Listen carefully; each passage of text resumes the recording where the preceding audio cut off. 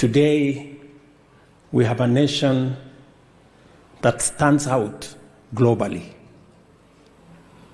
a nation that many nations look up to for leadership,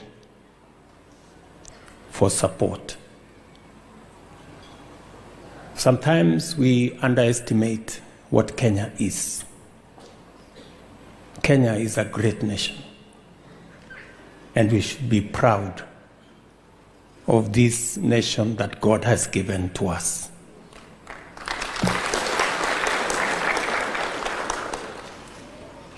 Just two days ago, the Prime Minister of Haiti was here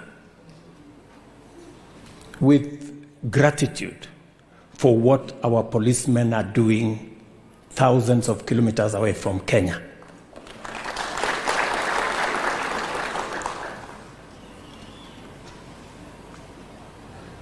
The United Nations, a, country, a, a, union or a, a, a coming together of close to 200 nations in the world, identified Kenya as the nation that would lead the multinational support mission in Haiti.